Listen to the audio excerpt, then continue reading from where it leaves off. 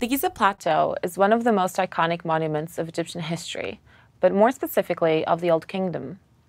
Modern scholars have Egyptian history conveniently divided into three kingdoms Old, Middle, and New, and several intermediate periods, which generally signal a time of transition.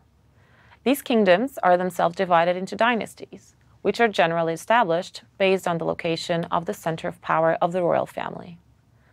Again, it is important to point out that this is an artificial construction set up by modern scholars to compartmentalize the study of Egyptian history. This was based on the division made by Manetho in the ancient Aegyptiaca, a book written by a Greco-Egyptian priest who lived during the Ptolemaic period, describing the history of ancient Egypt up to the Ptolemies. The Old Kingdom roughly corresponds to the years 2649 to 2150 BCE, encompassing the third to sixth dynasties.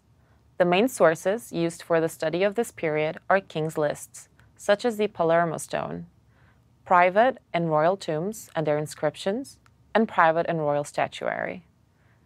King's lists are important resources, not only for dating periods of rule, but also to establish the chronological order of rulers.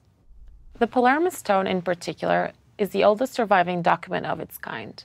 It gives us the names of the rulers from the early dynastic period to the 5th dynasty, covering most of what we now call the Old Kingdom. The Palermo Stone is also an important document since it provides information on royal and ritual activities and other historical events that royal ancient Egyptians deemed important.